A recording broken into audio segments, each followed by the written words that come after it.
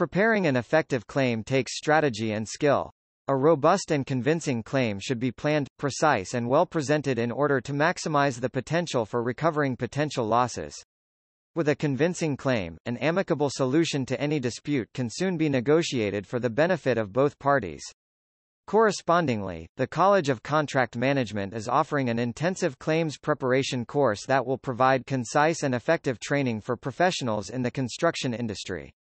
Because we are approved providers for the Chartered Institute of Arbitrators, our course offers you the chance to become an ACI ARB.